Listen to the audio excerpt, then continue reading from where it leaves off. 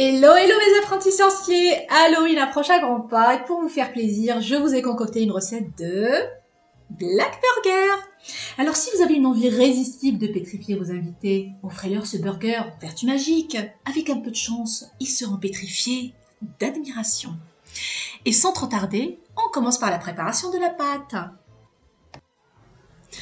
On commence par verser les aliments secs dans le bol du robot pâtissier, à savoir la farine, le sucre, le sel, la levure de boulanger, la levure chimique et du charbon végétal pour avoir la coloration noire. Si vous voulez récupérer les ingrédients avec les mesures exactes, reportez-vous à la barre de description. On mélange bien les aliments secs et ensuite on va ajouter les aliments liquides, le lait et l'eau.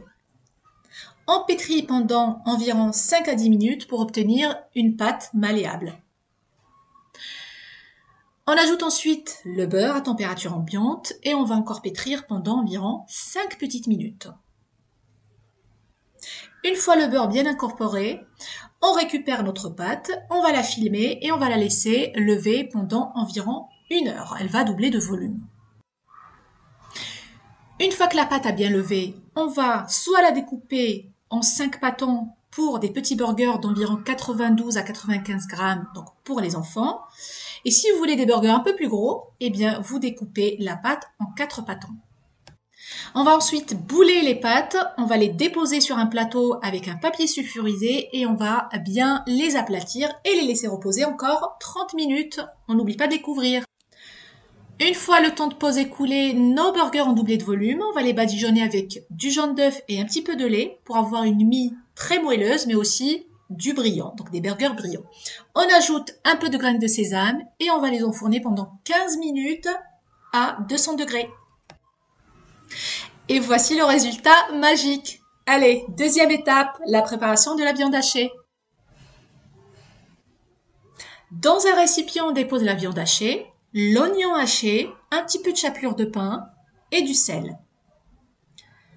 On mélange bien le tout, on forme des boules de viande hachée et ensuite on va les aplatir pour les faire cuire dans une poêle avec de l'huile vierge.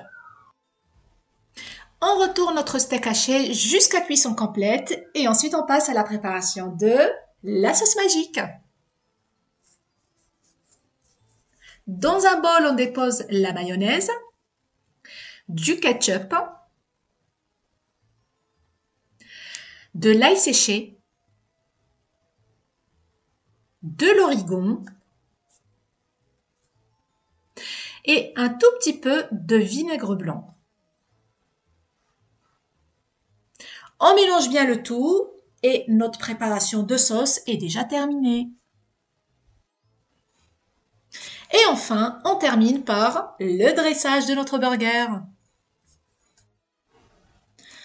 On découpe nos pains burgers en deux. On ajoute de la sauce, du fromage type cheddar, le steak de viande hachée, encore du fromage type cheddar, des cornichons, de la tomate bien fraîche, des lamelles d'oignon, encore plein de sauce, de la salade verte, et enfin, on va refermer notre burger. On arrive déjà à la fin de la vidéo. J'espère que ça vous a plu. N'hésitez pas à liker et à commenter. Et je vous souhaite un joyeux Halloween. Gros bisous. À bientôt mes petits sorciers.